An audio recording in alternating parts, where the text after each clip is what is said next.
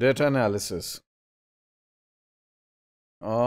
Data जो हमें मिला through primary research and secondary research और उसके लिए हमने जो टूल uh, इस्तेमाल किए वेरियस वेदर क्वालिटेटिव और क्वांटिटेटिव और मिक्स मेथड तो एक तो हमें ये देखना है कि ये जो डेटा है ये कितना रिलायबल है.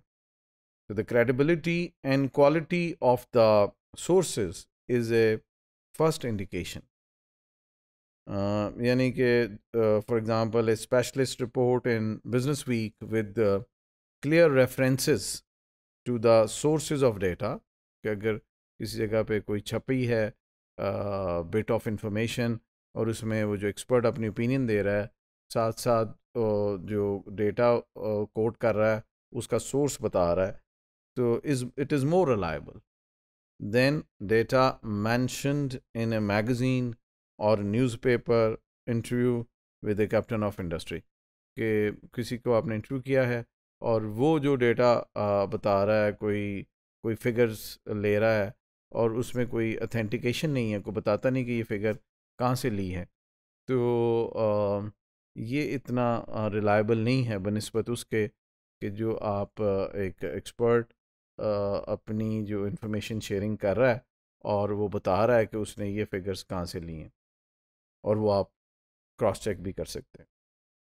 Another test of the quality of your data is whether other sources support it. कि यही बात दूसरे भी कर रहे हैं अगर इसको चेक किया जाए, एक एक सोर्स ने ये बात की है, उसको अगर आपने काउंटर चेक किया है और वो बात करेक्ट है in case of lack of consistency in data अगर दो मुख्तलिफ़ सोर्सेज से इंफॉर्मेशन डिफरेंट आ रही है more efforts will be needed to decide whether data is more reliable and should it be use तो अगर तो कन्फर्मिटी आ जाती है तो इसका मतलब है कि ये क्रेडिबल है और रिलायबल है। और अगर मुख्तलिफ़ है तो फिर ये देखना पड़ेगा कि किस सोर्स से जो डेटा है वो ठीक होता है और फिर उस डाटा को आप यूज़ करेंगे which is coming from a credible and reliable source the data analysis जो आप करते हैं that involves categorisation of customers के कस्टमर सेगमेंट्स आप बना सकते हैं, उनकी कैटेगरीज बना सकते हैं heavy users medium users low users occasionally users users. Ji categorisation of customers and providers providers मतलब सप्लायर्स दोनों उसको भी कैटेगराइज कर सकते हैं in various way in meaningful segments और strategic groups that's what you can do through data analysis statistical techniques हैं various uh, softwares हैं जिनमें आप अपना डाटा जो है वो उसमें इनपुट कर देते हैं और उसके बाद थ्रू वेरियस स्टैटिस्टिकल टेक्निक्स आप उसको एनालाइज करते हैं। Computing market trends by showing annual changes के मुख्तलिफ़ सालों के आप देख सकते हैं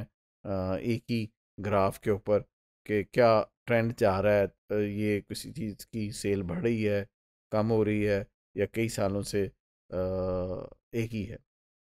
How the market is and how it will evolve how different technologies via their products,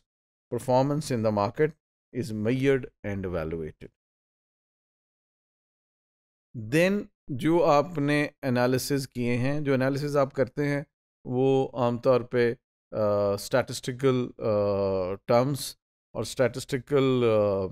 results की शक्ल में सामने आते हैं अब उसको दूसरा है एलिमेंट कि वो जो रिज़ल्ट्स आपके सामने आ गए और कोई ग्रुपिंग है या कोई अपने ग्राफ्स हैं तो फिर आप उसको इंटरप्रेट करते हैं that what does that result statistical result means for for an entrepreneur, for an for a marketer. An interpretation helps to know about the effect of entrepreneurs new technology and new product on the market क्या होगा? कैसे market uh, इसको लेगी? ये जो uh, नई product launch होने जा रही है।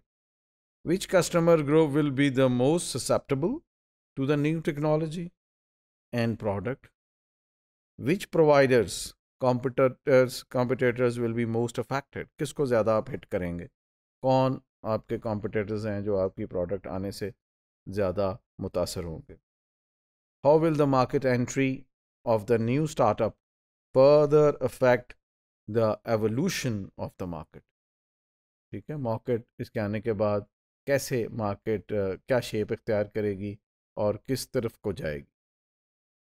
what will be the trend in the future after you have um, launched your product in the market. As a result, best customer segment could be identified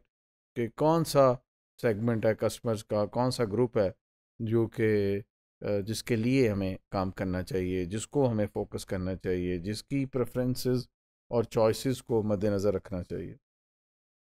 Best customer segment could be identified suiting to the entrepreneurs new product and specific innovative first customers are identified so that entrepreneur can persuade them, ठीक है? ताकि आप उस group के साथ interact करें, उनको motivate करें, उनके साथ में भी को बिल्डिंग करें